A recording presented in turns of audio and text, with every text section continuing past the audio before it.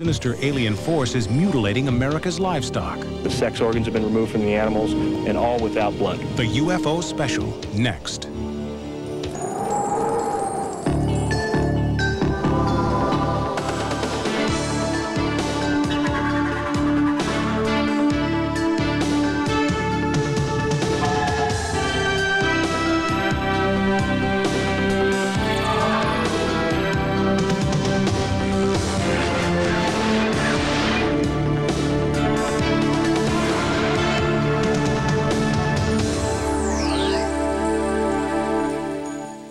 Welcome to Sightings. I'm Tim White. Tonight, UFO experts who conduct serious research have a whole vocabulary to describe their formative science. One term you may not be familiar with is flap. A flap occurs when UFOs appear in waves over a specific area for a specific period of time.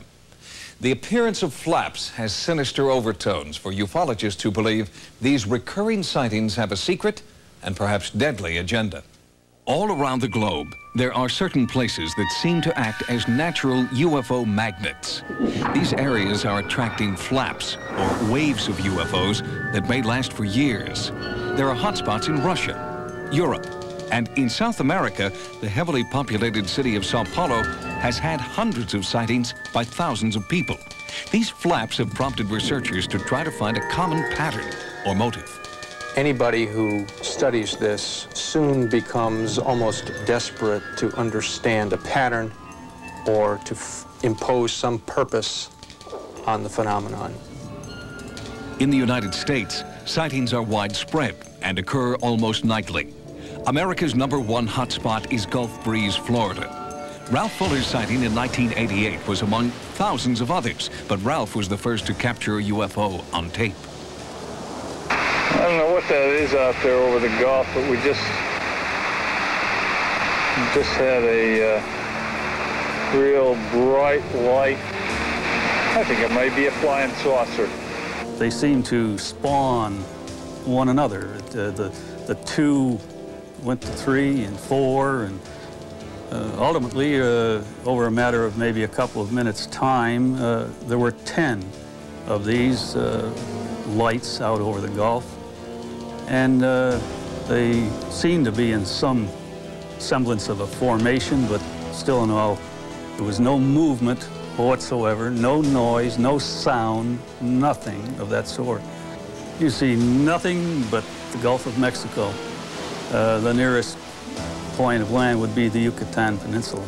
And there were no boats or anything of that uh, type in the area either.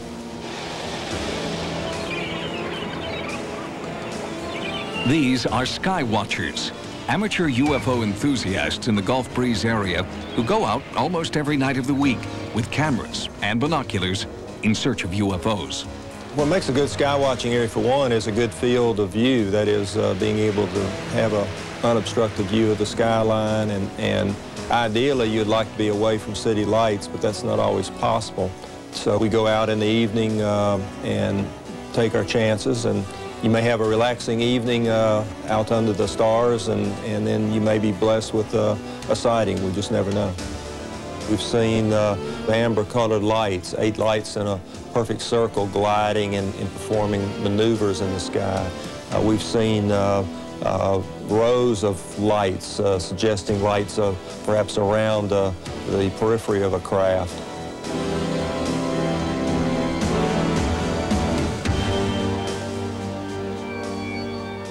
There are UFO hotspots all over the country. Gulf Breeze, certainly, but also here in New York State near a little town called Pine Bush. And the hotspots here near Pine Bush, according to one scientist, have a very special meaning. Bruce Cornet is a geologist who lives near Pine Bush, New York. After numerous significant sightings of UFOs near his home, he began studying the area with an electromagnetometer. What I found is that these magnetic anomalies are in specific patterns. And all of the UFO activity, the landings, the sightings where they are taking off and landing, when we've been able to uh, identify specific areas, are associated with these magnetic anomalies. Are you suggesting that uh, nature created homing devices deep in the ground? No, I think that it's a reverse. If we are dealing with an alien uh, culture and they are doing something underground, they're using the natural magnetic anomalies to disguise their own magnetic signals. Are you saying there are, or could be, aliens in the Earth? I'm not saying it's certain. It is definitely possible, based on what I've seen. Do you realize how that sounds? I don't like the idea just simply because it is so outrageous. Then I would have to also add some of the photographic data that I have that shows, at least in one particular case, a UFO going up at a seven degree dive right down into the ground, what appears to be.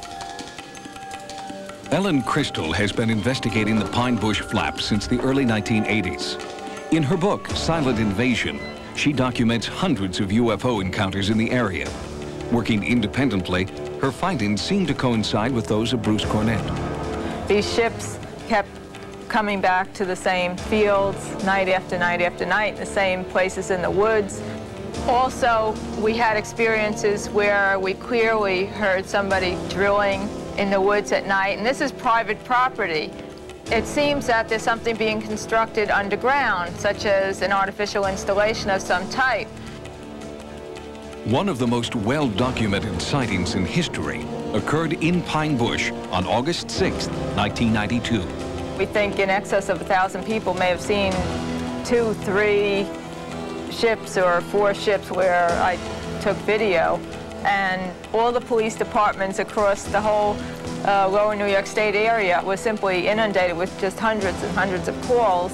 We looked over top of the trees, and there was this object there out of nowhere this great big object. It was about 300 foot wide, the size of a football field hanging over your head, and about 300 foot off the ground. We looked at our clocks, and we had three battery running clocks, two in the kitchen and one in the living room. And for some strange reason, all three clocks were stopped at the same time. Just about everyone in Pine Bush has seen a UFO. In his barbershop, Butch Hunt hears a lot of stories from eyewitnesses about strange alien encounters. About 60% of the people around here, I, I, think, have seen something. And some talk about it and some don't. They're just afraid to talk about it. Afraid of ridicule and intimidation.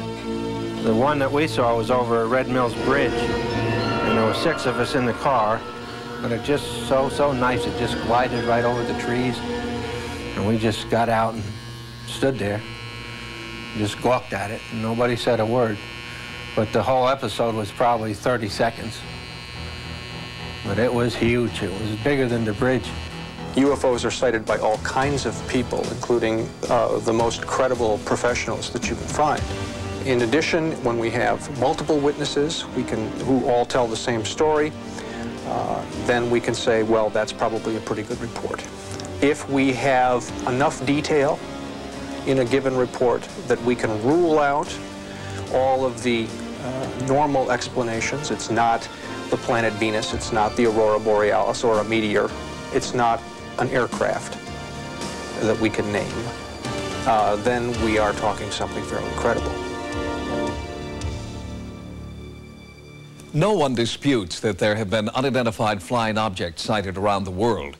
Where ufologists and skeptics differ is in how they interpret these sightings. Some skeptics believe that all UFOs are really conventional aircraft, while others see a deliberate hoax. But just how common are UFO hoaxes, and how do the experts weed them out? Each year, there are more than 10,000 UFO sightings reported in the United States alone. Many of those sightings are documented on film or videotape. But how many of these sightings are genuine, unidentified, and unexplainable flying objects? Sightings has received hundreds of photographs, films and tapes of supposed UFOs. The experts we use to analyze these reports are very careful in determining what they consider to be credible. UFO photographs that are hoaxed are hard to do. When there are hoaxes, we can find them. With the use of sophisticated equipment, expert UFO analysts try to methodically separate fact from fantasy, genuine UFO from obvious hoax. There's some basic techniques that are used to hoax UFO pictures. Overlays, paste up, small models, optical technology, electronic technology. In fact, the library is full of techniques on special effects. Many videotaped images appear genuine, but careful analysis and scrutiny often prove otherwise. This tape received by Sightings was analyzed by Dilettoso. This is a good example of a very well done, well executed hoax of a UFO. You'll notice here on the edges that the edge here, this edge, this one, this one, are all the same number of pixels. When they are very similar, as they are in this picture, it indicates that it's a small object close to the camera. Point of the story, this is a model. First of all, they're all potential hoaxes to begin with. So if the picture looks too good, it probably was staged. Now that cameras are in the hands of the general public and most everyone has one, we are finding that there is an increase in the availability of videos of UFOs. You can't just say, oh, this is a hoax. As a scientist, it's your obligation to finish the question and the answer. If it is a hoax, how did they do it? When I first got into this, I used to think that there was considerable hoaxing. But over the years, I've discovered that uh, there's a whole lot less hoaxing than we assumed and that the situation is probably reversed. Maybe 20% are deliberate hoaxes perpetrated by somebody for some purpose of his own, and maybe 30% are misperceptions. And the rest seem to be real unknowns to me. We have to thank the people that do hoaxes because they help us understand the other side too and what purposes there may be in real UFOs coming here. It's a tremendous mystery we're trying to solve. Despite careful analysis and overwhelming evidence, there are some people who refuse to believe in the existence of any space encounters. Case in point, there are still people who are dedicated to proving that Neil Armstrong's moon landing in 1969 was a hoax, staged, they say, by Hollywood. Coming up, what sinister alien force is mutilating America's livestock? The Sex organs have been removed from the animals, and all without blood. Our exclusive UFO report continues next. UFOs, reports of abduction, and close encounters are not the only potential evidence of alien visitation. Ufologists believe the Nazca lines of Peru and crop circles are also forms of UFO communication. Now, after more than 20 years of study, some experts believe further proof of extraterrestrials on Earth can be found in the bizarre deaths of cattle. The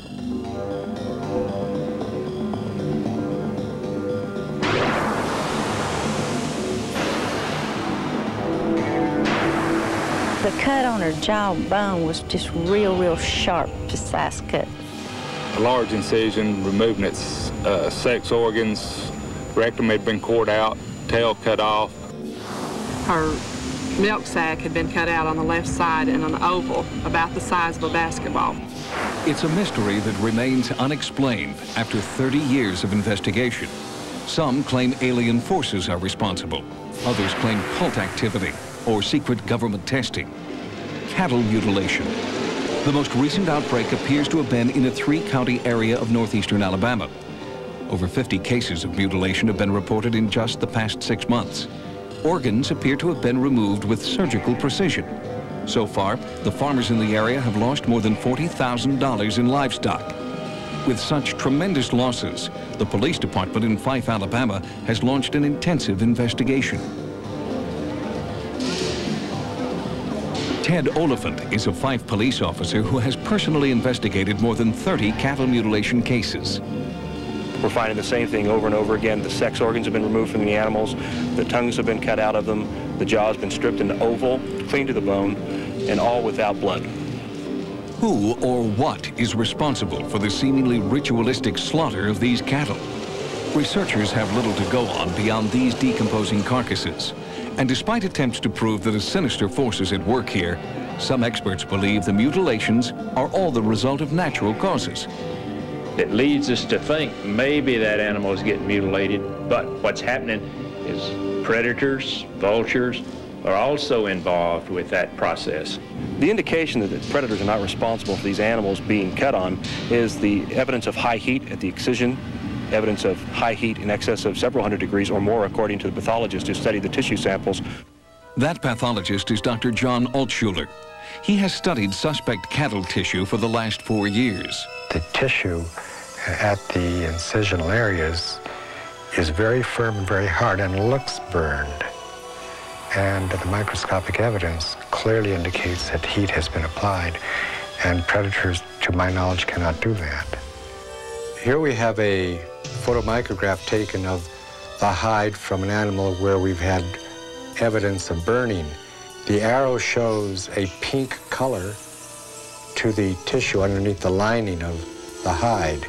As we move towards the cut area, you notice the definite color change from pink down here to blue up here. This is a very typical change of exposure of tissue to heat. Other unusual evidence has been found at some alleged mutilation sites. A white flaky substance was recovered from one Alabama location. Officer Oliphant had it analyzed at one Eastern university. And they determined that it was composed of aluminum, titanium, silicon, and oxygen. Aluminum and oxygen, or aluminum oxide, is what's used in the styptic pencil that I use if I've cut myself after shaving, and that stops bleeding. Perhaps that has something to do with why the animals don't have blood on them at the excision lines. In more than half of the Alabama cases, farmers report seeing an unmarked helicopter leaving the scene just before or after a cattle mutilation. They had a chopper in behind my barn. Had all my cattle rounded up in behind the barn. The chopper, when it appeared, uh, uh, it was kind of unordinary. It looked like it's sitting on a box, you know. Of course, it was big enough to get a cow in, you know. If they catch them hovering over their cattle and pasture, I'd probably shoot him. Probably shoot him. Loud helicopter noise, sounded like it was right over the trailer. Went out the front door, went over to my car, returned the seat, pulled out a handgun, I walked towards the edge of the trailer. I saw the helicopter.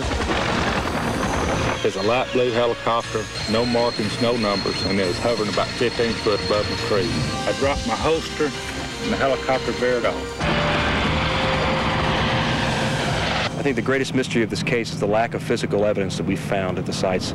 Only in one case did we find that white flaky material. We haven't been able to find footprints, we haven't been able to find tracks or wheel marks or anything to indicate that anybody's even been in there. How do you explain that? We can't. My tendency to believe is that something of a lot higher intelligence than what we've got in normal everyday occurrence around here. Don't really have any ideas who could be doing it or the reasons behind it, you know. You could get most of the parts they removed from a slaughterhouse for free, you know. Yes, sir. I run a meat processing plant, and uh, I made a statement that I would donate them uh, jawbone, uh, the blood, uh, their rectum, and whatever, you know, if they just uh, asked me for it, and then uh, they wouldn't have to kill these farmers' cattle like they do. Despite the willingness of the ranchers to cooperate with authorities in a larger scale investigation, most government officials are sticking to the predator theory. They do not believe that high tension lines in the area are somehow related to the mutilations. They also deny charges that the government is mutilating cattle in order to support new technology, replacing human blood with bovine blood. And what about the unmarked helicopters? Do they point to the existence of a conspiracy? I think the helicopters are doing the same thing we're doing on the ground. I think they're investigating who's doing this. They're trying to find out too. And because of their behavior, it's obvious that they'd rather have us think that they're doing it than what's actually happening. Whoever or whatever is responsible may never be known. The silent testimony of these mutilation victims has not been able to resolve the mystery. One of the most intriguing aspects of our investigation is what we didn't find. The moment our sightings team arrived in Fyffe, the mutilations stopped. Did our presence scare someone or something away? Or was it merely coincidence that our investigation coincided with an end to this bizarre phenomenon? Coming up, can life exist in outer space? A bizarre growth discovered on a satellite brought back from space has scientists baffled. In some cases, it looks somewhat like a fungus or a mold. Have brought back priceless data from outer space. Recently, one NASA satellite was retrieved after being lost in space for six years. That satellite brought back something scientists have never seen before, and so far, can't explain. Scientists are puzzled by the unidentified space growth and excited at the prospect of what may be a new life form recovered from the exterior of a satellite. The growth is a very interesting phenomenon. It's not exactly identified yet, but it's still in preliminary stages at this point. The growth appeared on an LDEF, the abbreviation for Long Duration Exposure Facility, basically a satellite designed to expose and test materials in outer space. It is a gradient growth that generates from an area in which the covered portion of the LDEF was located at. And as you can see specifically right in this area, you get a very silvery looking area to a very dark brown into a brownish white kind of area. In that area, scientists found microscopic fibers. When they were magnified by a high-powered scanning microscope, mysterious images were revealed. In some cases, it looks somewhat like, like a fungus or a mold, at least to some of us. What came back on this satellite appears to be organic, but some researchers believe the growth is merely the result of a battery leak on board the craft. Others point to the fibers as proof that the growth is organic and that strange new life forms may exist in outer space. If you've had a paranormal experience, call the Sightings Hotline at 1